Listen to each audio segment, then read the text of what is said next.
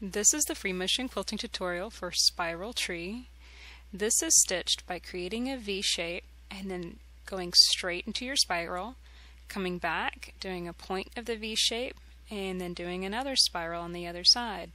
You're literally creating a tree with V shapes, and you can kind of think of the branches as being your spirals. I know this looks like a very advanced design and it looks really tricky, but in truth, this is a beginner level quilting design because it's very simple. Um, you're just simply stitching V shapes with spirals on the end. Um, it's very simple and it flows very, very easily from one side of your piece to another. Uh, so I think that even a beginner would be able to very easily tackle this design without too much difficulty. Of course, if you do find yourself struggling with it, draw it a few times and see if that helps. Here's what it looks like when you finish Spiral Tree. For more free motion quilting videos, check out daystyledesigns.com.